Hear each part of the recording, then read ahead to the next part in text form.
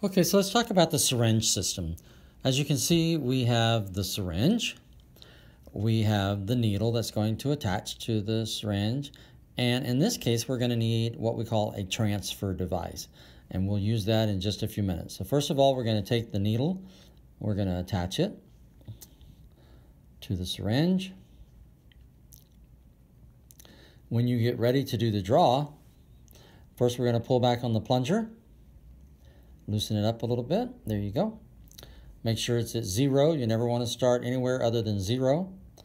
Now we're ready to start the draw. What your first thing you're going to do is you're going to pull back on the safety lock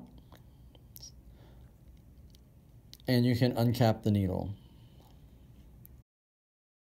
And you can see the bevel is facing straight up.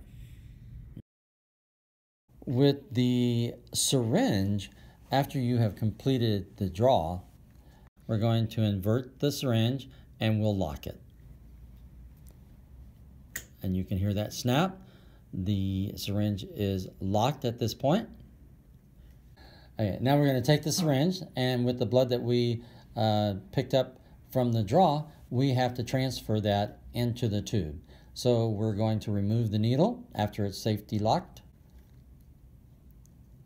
We are going to uh, attach the transfer device,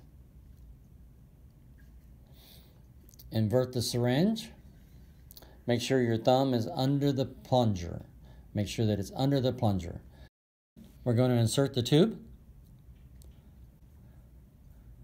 and then we can let the blood flow slowly into the tube. We can protect it, otherwise all of the blood in the syringe will go into the tube before you have a chance to change out the tubes.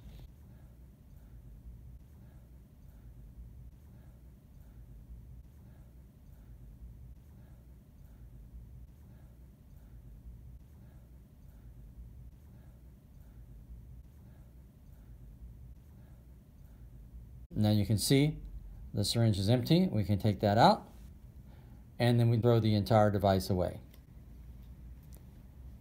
Very good.